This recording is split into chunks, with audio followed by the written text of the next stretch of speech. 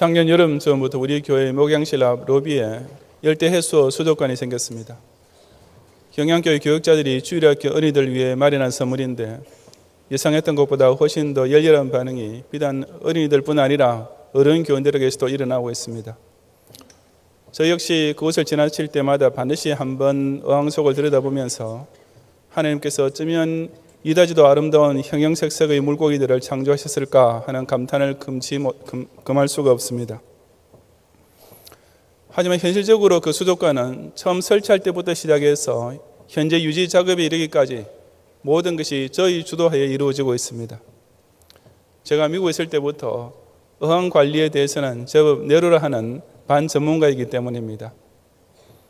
다시 말해서 그 어항 속에 있는 물고기들의 생사 화복은 전적으로 제게 달려있다 해도 과언이 아닙니다.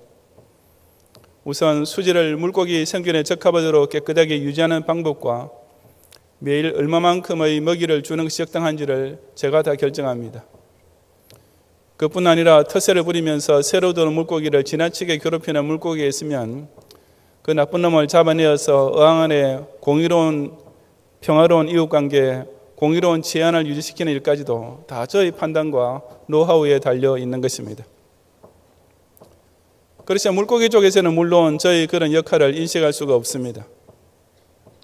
그때는 그저 자신의 본능에 따라서 어떻게 해서라도 살겠다고 발부동 치고 있으며 또한 그 때문에 다른 물고기와 영역 다툼까지 치열하게 벌이고 있을 뿐 그들보다 한 차원 더 높은 곳에서 자기네 머릿속까지 꿰뚫어 보면서 자기들의 생존을 위해 필요한 온갖 것들을 정성과 사랑으로 베풀어 주는 석기 현목사는 사람이 있다는 사실은 꿈에도 알 길이 없는 것입니다. 왜냐하면 물고기라는 존재 자체가 사람과는 비교도 될 수 없을 만큼 열등하기 때문입니다. 그와 똑같은 일이 사람과 하나님 사이에서도 벌어지게 됩니다. 타락한 이후의 사람은 스스로 하나님을 알지도 못하고 알려고 할 능력도 없는 존재로 떨어졌기 때문에 그저 자기의 생존 본능과 육체적 욕구에만 사로잡혀 살고 있습니다.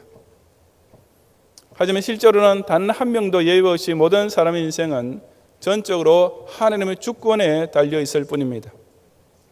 오늘 본문이 바로 그 사실을 가리켜 인생의 생사와 화복을 위시하여 내세의 생명 이르기까지 모든 것이 오직 여호와께로서 나느니라고 증거해 주고 있는 것입니다. 이 시간 저는 주신 말씀을 통해 사람이 자기 딴에는 자기 마음대로 인생을 사는 것 같아도 실제로 오직 하나님께서 그 모든 것을 100%다 주장하고 계시는 현실이 구체적으로 어떻게 이루어지고 있는지를 함께 상고해 보고자 합니다. 첫째로 사람이 자유의지와 양심으로서 판단을 내려도 그 결과는 오직 하나님의 주권적인 뜻과 계획에 달려 있을 뿐입니다. 1절부터 4절까지 말씀을 함께 봉독하겠습니다. 마음의 경영은 사람에게 있어도 말의 응답은 여호와께로서 나느니라. 사람의 행위가 자기 보기에는 모두 깨끗하여도 여호와는 심령을 감찰하시느니라. 너희 행사를 여호와께 맡기라. 그리하면 너희 경영하는 것이 이루리라. 여호와께서 온갖 것을 그 시험에 적당하게 지으셨나니 악인도 악한 날에 적당하게 하셨느니라. 아멘. 마음의 경영은 사람에게 서도라고 했는데 이 말은 어떤 일을 희망하고 계획을 세우는 것은 아무도 막지 못할 본인의 자유처럼만 보인다는 뜻입니다. 사실상 모든 사람에게는 자기 인생을 자기 마음으로 판단하고 계획하고 추진할 수 있는 자유의지라는 것이 창조 때부터 주어져 있습니다. 그런 까닭에 사람은 태어날 때부터 자유로운 존재로 태어났다라는 말은 실로 고귀하고도 강력한 인권 선언으로 들리기 마련입니다. 성공하든지 실패하든지 간에 내 인생 내 마음대로 살겠다는데 누가 어떻게 간섭하겠다는 것이냐? 정말 아무도 뭐라 대꾸할 말이 없어 보이는 논리가 아닙니까? 옳든지 그르든지 내가 책임지면 되지 않느냐? 그러니 아무도 내 판단과 행동에 대해서 이러쿵 저러쿵 상관하지 말아라. 실로 신이라 할지라도 건드릴 수 없는 고유의 권리처럼 보이지 않습니까? 하지만 그처럼 자신 만만하게 자유의지를 자랑하는 사람에게 하나님의 카운터 펀치가 날아옵니다. 바로 그처럼 사람이 자유롭게 마음의 경영을 하는 것 같아도 실상 말의 응답은 여호와께로서 난다라는 선포입니다. 여기 우리나라 말 번역에 말의 응답이라고 되어 있는 것은 내용적으로 decision making 결정을 뜻하는 말입니다. 즉 내 마음대로 실컷 생각하고 꿈꿔라. 그러나 마지막 도장은 내가 찍는다. 내가 그렇게 마음대로 계획하고 끙끙거려도 그 일의 결과는 바로 내가 내 마음대로 결정하는 것이다 라는 하나님의 위대한 주권 선언인 것입니다. 같은 맥락으로서 이어지는 이절에 사람의 행위가 자기 보기에는 모두 깨끗하여도 라고 했습니다. 사람에게는 분명히 양심이라는 것도 주어졌습니다. 자기 나름대로 선과 악을 구별할 뿐 아니라 그 중에서도 악을 따라하고 싶은 욕망을 억제하고 선을 추구하는 양심을 발휘하고 사는 것입니다. 완전 다르게 빠진 인간에게 어떻게 이런 양심이라는 것이 남아있고 작동될 수 있는가 하는 질문을 던지는 사람도 있겠지만 그것은 바로 하느님의 일반 은총 때문입니다. 곧 예수님께서 하느님이 그 해를 악인과 선인에게 비추게 하시며 비를 의로운 자와 불의한 자에게 내리우심이라고 하신 대로 하느님께서는 신자든지 불신자든지 공평하게 내리시는 은총인데 그 중에 하나가 양심입니다. 그런 까닭에 불신자들 중에서도 소위 법 없이도 살 수 있는 사람, 종교를 믿지는 않아도 착하게 사는 사람이라고 불리는 사람들이 생기는 것입니다. 하지만 그에 대한 문제점은 바로 자기 보기에는 이라는 말씀에 있습니다. 이것은 그 양심적 판단이 옳고 그른지에 대한 기준이 바로 자기 자신이 된다는 뜻입니다. 본인이 기준이 되면 당연히 자신의 모든 생각과 행동이 다 옳게 보일 수밖에 없을 것이 자명합니다. 자기가 재판장이 되면 누가 자기를 스스로 정죄하겠습니까? 분명히 범법의 행위가 있다 하더라도 그 최종 결론을 내릴 사람이 자기 자신이 되면 무슨 핑계나 변명을 대서라도 합리화시킬 것이 틀림없습니다. 소위 인간의 양심을 최고로 내세우는 자들이 바로 그런 자가 당착의 잘못을 저지르고 있는 것입니다. 그런 까닭에 그 양심 선언이라는 것 역시 하나님 앞에서는 무용지물입니다. 왜냐하면 여호와는 심령을 감찰하시기 때문입니다. 이것은 사람이 자신의 양심으로도 깨달을 수 없는 것들까지 하나님께서는 다 보고 계신다는 의미입니다. 사람이 자신의 양심으로 양심의 눈만으로 보면 모두 깨끗하여도 하느님께서 감찰하실 때는 결코 깨끗하지 않는 것들이 무엇입니까? 대표적인 것이 곧 하느님의 살아계심을 부인하는 교만, 십자가 대속과 구원을 믿지 않은 불신앙입니다. 이런 것은 인간의 양심만 가지고서는 아무리 판단해 봐도 절대로 더럽게 보이지 않습니다. 나는 하나님을 안 믿어도 내 양심적으로는 하늘을 우러러 한 점 부끄러울 것 없다. 나는 예수 십자가 보혈 공로 같은 것을 의지할 필요도 없이 선하게 살고 있다. 라는 식으로 자기 보기에는 모두 깨끗할 뿐인 것입니다. 그런 까닭에 사람은 자신의 행사를 오직 여호와께 맡겨야만 합니다. 자기의 자유의지와 양심적 판단만 내세우지 말고 하나님의 뜻과 계획을 깨닫고 그것을 순종하려는 쪽으로 자기의 마음을 이끌어 가야 하는 것입니다. 그리하면 너희 경영하는 것이 이루어질 것이라고 했습니다. 순전히 본인의 생각과 의지만 따라가면 시행착오와 교만에 빠질 수밖에 없지만 우리보다 훨씬 더 높고 깊게 모든 것을 예정해 놓으시고 감찰하시는 하나님께 자신의 인생을 맡기면 절로 그 경영하는 모든 것이 다 형통하게 성취된다는 사실을 깨닫고 체험할 수 있어야 하는 것입니다. 사람이 자기 머릿속만큼은 자기 마음대로 할 수 있을 것 같지만 실상은 그 뇌의 작용까지도 하나님께서 당신의 주권적 권능으로 주장하시고 그 뇌가 내리는 모든 판단을 통해 오직 당신의 뜻과 계획을 성취해 나가신다는 사실은 참으로 두렵고도 경외로운 일이 아니겠습니까? 하지만 그것이야말로 살아계신 진짜 하나님, 모든 주권을 한 손에 다 주고 계시는 절대자께서 실제로 행하고 계시는 일입니다. 애고의 바로가 순전히 자기 의지대로 판단한 것 같았지만 하나님께서는 그의 마음이 더 강팍해지도록 그래서 결과적으로는 당신께 더 큰 영광이 돌아오도록 마음대로 주장하셨습니다. 바사 제국의 고레스도 자신의 선한 양심을 따라 유다 백성을 해방시켜 주기로 결정한 것 같았지만 사실은 하나님께서 그 해방 칙령을 내리도록 그의 생각과 판단을 전적으로 이끌어 가셨습니다. 그야말로 악인도 악한 날에 적당하게 사용하시는 것이 하나님의 오묘하기 짝이 없는 주권인 것입니다. 테니스 경기를 보면 overrule이란 것이 있습니다. 프로 테니스 경기에서 공의 인아웃 여부에 대해서 1차적인 판정을 내리는 사람은 선심들입니다.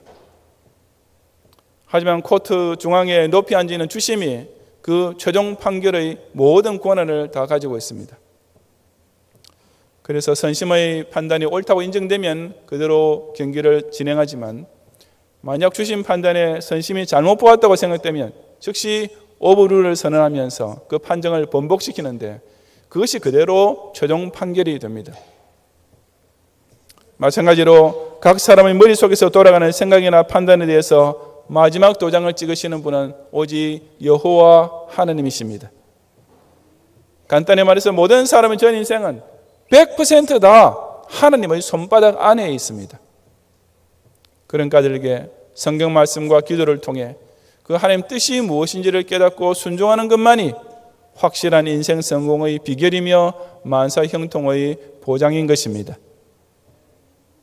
아무리 인간이 자유 의지를 가지고 마음대로 생각을 하고 자신의 양심을 내세우면서 하나님 앞에조차 부끄러울 것 없다고 자화자찬을 하더라도 그 모든 자기 판정에 대한 최종적 판결은 바로 저 지극히 높은 보좌에 저장하 계신 절대 주권자 한 분뿐이심을 명심하는 가운데 자신의 행사를 전부 다 여호와의 뜻과 계획에 맡김으로써 소원하는 모든 경영이 이루어지는 복을 꼭 누리는 성도들이 되시기를 바랍니다. 둘째로 사람이 도덕과 윤리를 자랑해도 죄의 문제를 해결할 수 있는 길은 오직 하나님의 주권적인 구원 역사에 있을 뿐입니다. 5절과 6절을 함께 봉독하겠습니다. 무릇 마음이 교만한 자를 여호와께서 미워하시나니 피차 손을 잡을지라도 벌을 면치 못하리라. 인자와 진리로 인하여 죄악이 속하게 되고 여호와를 경외함으로 인하여 악에서 떠나게 되느니라. 아멘. 죄악의 문제, 그리고 그에 따른 사죄와 구원의 문제는 모든 종교에서 공통적인 과제입니다. 어떤 것이 죄고 악이냐 하는 것을 따지는 점에 있어서는 기독교와 타 종교들 간에 공통적인 것도 있고 다른 것도 있습니다. 하지만 사죄의 방법과 구원의 길에 대해서는 완전히 차이가 납니다. 본문 역시 참된 기독교에만 있는 인죄론과 구원론을 또다시 정확하게 선포해 주는 말씀입니다. 우선 5절에 보면 무릇 마음이 교만한 자를 여호와께서 미워하시나니 피차 손을 잡을지라도 벌을 면치 못하리라고 했습니다.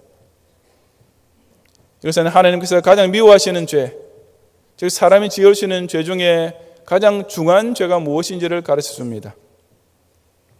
그 죄는 마음이 교만한 죄라고 했는데 이것은 곧 하나님의 존재를 부정하고 하나님 섬기기를 거부하는 죄를 가리킵니다. 간단히 말해서 하나님을 믿지 않는 불신앙인데 이것은 사람 자신을 존재 세계의 최고봉에 올려놓는 극단적인 교만이며 그런 까닭에 하나님께서 제일 미워하시는 죄가 되는 것입니다. 그리고 이처럼 하나님을 불신하면서 교만하게 행하는 자는 피차 손을 잡을지라도 벌을 면치 못할 것이라고 했습니다. 즉 그런 교만한 신성 모독자들이 아무리 숫자가 많고 그런 인본주의자들이 자기네들끼리 똘똘 뭉친다 해도 그 최악의 죄에 대하여 마땅히 받아야 할 형벌을 결코 피하지 못할 것이라는 뜻입니다. 왜냐하면 예수 그리스도를 통해 하나님을 믿도록 인도하시는 성령을 거역하는 죄는 결코 사함을 얻지 못하고 반드시 지옥 영벌에 떨어지고야 말 최악의 중죄이기 때문입니다. 그렇다면 그런 무선 죄악과 형벌에 빠지지 않을 수 있는 길은 과연 무엇이겠습니까? 그에 대하여 이어지는 6절은 인자와 진리로 인하여 죄악이 속하게 되고 라고 가르쳐 줍니다. 사람이 죄를 용서받기 위해서는 그 무엇인가 대가가 치러져야 한다는 점에서는 모든 종교가 다 일치합니다. 본문에서는 그 대속의 대가가 인자와 진리라고 했는데 문제는 이것이 누구의 인자와 진리인가 하는 것입니다. 이것이 사람 쪽의 인자와 진리라고 주장하는 것이 바로 인본주의적 종교입니다. 즉 죄를 지은 본인이 이제 다른 사람에게 인자, 즉 무슨 선행을 베풀어 줌으로써 자기가 지은 죄에 대한 대가를 치르고 나면 그 지은 죄가 용서받을 수 있다고 주장하는 것입니다. 하지만 그런 식으로 해석하자면 인자 쪽은 그래도 말이라도 되지만 진리 쪽은 해석이 잘 되지 않습니다. 사람 쪽의 진리가 어떻게 자기의 죄를 갚아줄 수 있겠습니까? 이 말이 사람이 어떤 진리를 깨닫거나 도를 통하게 되면 그 공로로 죄가 세진다는 뜻일 수는 없습니다. 만약 그렇다면 무식한 사람은 결코 죄 용서받을 길이 없고 오직 똑똑한 사람이래야 구원을 얻을 수 있다는 말이 되는 것이니 결코 받아들일 수 없는 논리인 것입니다. 그러므로 우리는 이 말씀을 하느님 쪽의 인자와 진리에 의해서 사람의 죄악이 속하게 된다는 뜻으로 바로 깨달아야 합니다. 즉 죄인에 대한 하나님의 무조건적인 사랑이 바로 우리에게 구원의 길이 열리는 근간이 되고 예수 그리스도를 구세주로 믿는 복음의 진리를 통해서만 그 대속의 은총을 누릴 수 있다는 말씀입니다. 이처럼 사람의 죄 문제를 해결해 줄수 있는 길은 사람 자신의 도덕이나 윤리에 달리는 것이 결코 아니라 전적으로 하나님께서 발동하시는 인자와 하나님께서 선포하시는 진리에 다 달려 있는 것입니다. 일단 그렇게 구원을 얻게 되고 나면 6절 하반절에 나오는 현상이 곧 뒤따라오게 됩니다. 바로 여호와를 경외함으로 인하여 악에서 떠나게 되는 삶입니다. 세상 종교에서는 사람 쪽에서 먼저 스스로 악에서 완전히 떠나 오직 선을 행하고 인자를 베풀어야만 그 공로로서 죄영성을 받고 구원 얻게 된다고 가르칩니다. 하지만 사실은 정반대입니다. 오직 하나님의 인자와 그리스도의 복음을 통해 용서와 구원을 먼저 받고 나면 바로 그 놀라운 은혜에 감격하여 늘 하나님을 두려워하는 신전의 기자가 됨으로써 자연히 악에서 떠나는 새 삶을 살 수 있게 됩니다. 다시 말해서 사람이 스스로 구원을 얻기 위하여 악에서 떠나려 하는 노력보다는 무조건 용서받고 구원 얻은 은혜에 감격하는 마음과 하나님께서 살아계심을 믿는 경외의 신앙이 사람을 훨씬 더 강력하고도 근본적으로 변화시키면서 절로 악에서 떠나도록 만드는 것입니다. 기독교를 제외한 다른 종교에서는 죄를 논할 때 오직 윤리적, 도덕적인 죄만 따집니다. 즉, 사람이 다른 사람에게 잘못하는 행위만 가지고 죄를 정의하고 책망하는 것입니다. 하지만 그런 죄는 구태여 종교를 가지지 않더라도 그저 인간으로서의 도덕과 윤리만으로도 충분히 다루시는 문제가 아니겠습니까? 그런 까닭에 그런 종교는 결국 신과 아무 실제적 관계도 없고 사실상 신을 필요로 하지도 않고 찾지도 믿지도 않는 순전히 인본주의적 종교로 끝날 수밖에 없는 것입니다. 물론 우리 개혁주의 기독 신자들도 윤리적인 죄 역시 죄라는 사실을 인정하고 있지만 그보다는 유해신 하나님을 믿지 않는 교만한 마음이야말로 죄 중에서 가장 큰 죄, 반드시 벌을 면치 못할 죄라고 성경이 가르치는 그대로 배우고 깨닫는 것입니다. 하지만 오늘날의 현실은 그런 인본주의적 종교들이 압도적인 세를 자랑하면서 참된 기독교를 에워싸고 있습니다. 하나님의 인애와 자비에만 의지하는 신앙은 전혀 없고 그저 인간 스스로의 착한 마음씨와 선한 행실만 칭송하고 내세우는 교만이 소위 종교인이라는 사람 사이에서 최고의 덕목으로 꼽히고 있습니다.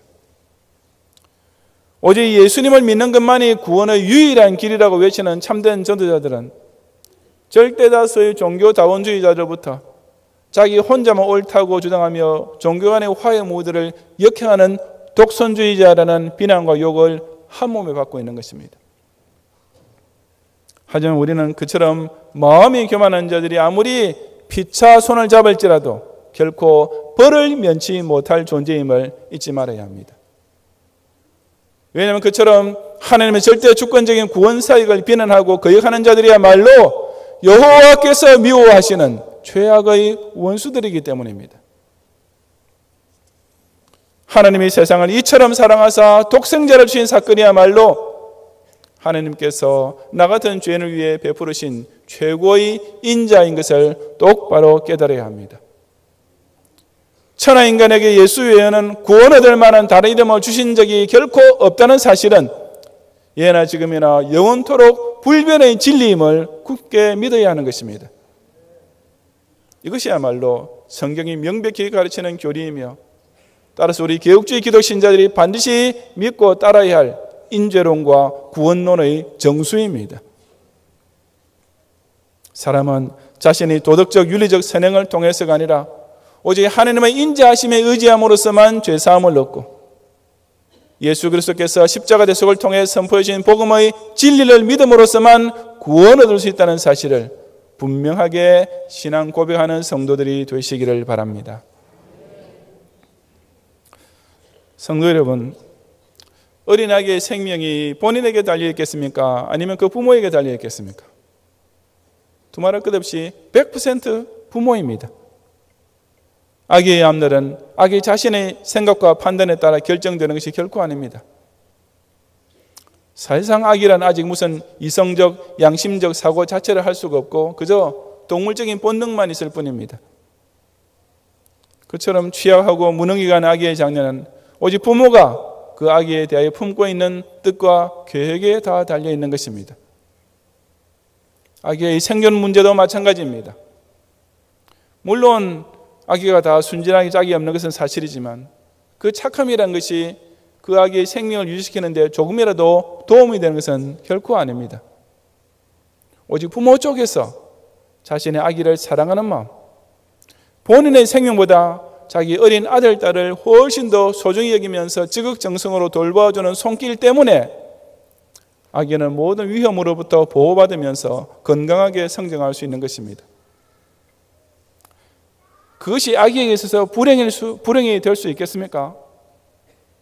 아기가 자기 마음대로 판단하고 스스로 자신의 행동을 주도할 수 없다고 해서 그 아기는 자유스럽지 못하고 부모에게 속박된 비참한 인생이라고 말할 사람이 있겠습니까? 아무도 없습니다. 자기를 지극히 사랑하면서 전적으로 돌보아주는 부모가 있다는 사실이야말로 아기에게 있어서는 최고의 행복일 뿐입니다. 그럼에도 불구하고 인간들은 하나님의 절대 주권적인 섭리와 구원에 대해서 불만을 토하고 반항합니다. 하나님 뜻과 계획 따위는 자기 개인의 자유의지를 방해하고 자신의 양심적 판단과 행동을 무시하는 것이라 주장하면서 신으로부터 인간의 완전한 독립을 외칩니다. 하나님 인자하심에 감사하고 하나님의 진리를 믿고 의지하기는 커녕 순전히 윤리와 도덕만 있으면 신 따위는 없어도 얼마든지 인간의 존엄을 스스로 지킬 수 있다고 자신 만만해 합니다. 실로 부모 없이도 자기 혼자의 판단과 능력으로 얼마든지 살 수 있다고 생각하는 아기와 똑같은 꼴이 아니고 무엇이겠습니까? 참된 기독 신자는 그런 신성 모독자들의 지극히 지극한 무지와 교만에 홀이라도 빠져들지 말고 모든 것이 오직 여호와께로서 나느니라는 성경 말씀에 아멘으로 고백해야만 합니다. 우리의 인생 전체는 전적으로 하나님의 선한 뜻과 완전한 계획에 다 걸려 있습니다. 저와 여러분의 금세뿐 아니라 내세 생명까지 100% 전부 다 하나님의 주권적인 구원 역사에 달려 있을 뿐인 것입니다. 이것을 깨닫고 믿어야만 실로 죄악의 포로가 된 종에서 벗어나 그리스도 안에서 진정 자유로운 행복자가 될 수 있습니다. 인간이 그렇게도 내세우며 자랑하는 자유의지와 양심, 도덕과 윤리란 하나님의 절대 주권 앞에서는 도저히 상대도 될 수 없음을 깨닫는 가운데 오직 여호와의 전지하신 뜻과 계획을 따라 자신의 경영하는 것이 다 이루어지는 복을 받고 또한 하나님의 인자하심과 진리를 통해 영원 구원의 은혜까지 반드시 누리는 모든 경향의 성도들이 되시기를 주님 이름으로 축원합니다.